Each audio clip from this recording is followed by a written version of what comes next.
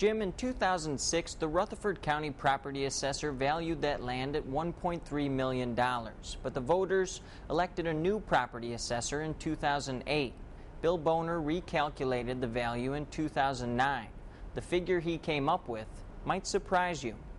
12 and a half would go 15. Sold at 1250, number 73. Lieutenant Governor Ron Ramsey runs an auction house and real estate business. He says he knows the value of a dollar. Five dollars seven and a half, half or five dollars seven and a half. In February, Ramsey introduced a bill that would limit property value increases on vacant land to 25% the previous appraised value. That would save Bristol auto dealer Bill Gatton more than a quarter million dollars a year on 187 acres of land he owns in Murfreesboro. He developed about half his property, got about half remaining. The problem is the property assessor down in Rutherford County has assessed his remaining vacant property for what he sold the original property for. Well, even in good times, you can't put in two Embassy Suite hotels. You can't put in two Avenue shopping centers, let alone in economic times we're in right now. In 2006, much of Gatton's property was designated Greenbelt or farm property, like this tract in Sullivan County. They benefit from lower taxes. Rutherford County property assessor Bill Boner says Gatton developed his land beyond Greenbelt status. Once you put street lights in it, sewer lines, water lines, it's not Greenbelt property.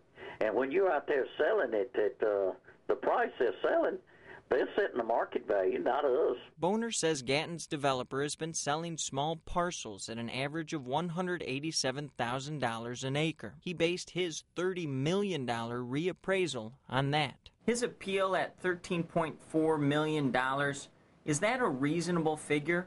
I don't feel like it is. 25, 30 now, pound, 35, it'll get 35, it'll get 35.